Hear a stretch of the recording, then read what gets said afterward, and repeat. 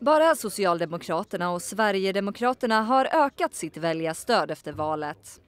Det är enligt SVT och Novus undersökning som alltså visar att alla andra partier backar.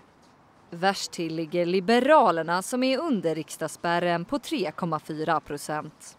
SVT och Novus kunde också berätta hur förtroendet för politikerna har rasat. Ja, 70 procent av eh, de som har frågat sig i den här undersökningen de säger att de har tappat förtroendet. Det har minskat något eller kraftigt sedan riksdagsvalet. Allra störst eh, missnöje och eh, ja, lågt förtroende för politiker det ger Sverigedemokraternas väljare och Moderaternas väljare. Och regeringsbildningsperioden som nu verkar gå mot sitt slut i och med statsministeromröstningen om Stefan Löfven på fredag har orsakat massflykt från Miljöpartiet. De tre tunga namnen Walter Mutt, Annika Lillemets och Carl Schlüter lämnar partiet efter uppgörelsen med C, L och S.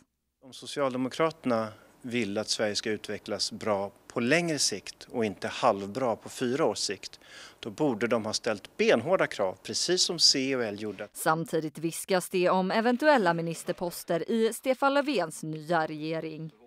På torsdagen stod det klart att Socialdemokraterna har utsett nuvarande migrationsminister Helene Fritzon som sitt toppnamn till EU-valet i maj. Hade du fått fortsätta som migrationsminister om du själv hade velat det? Kommer aldrig att spekulera i det utan eh, det är ju så att när man tackar ja till ett uppdrag då går man in i det med full kraft och det gör jag nu. Och på fredag röstar alltså riksdagen om en ny statsminister. Men det råder fortfarande delade meningar om knäckfrågan hur mycket inflytande Vänsterpartiet kommer få i politiken de närmaste fyra åren. Vi får värna de reformer vi har fått igenom. Vi får samarbeta där vi kan.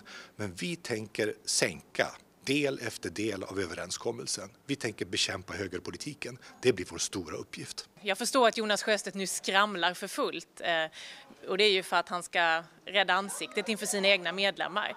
Men de krokas av och vi får nu en liberal reformagenda på plats.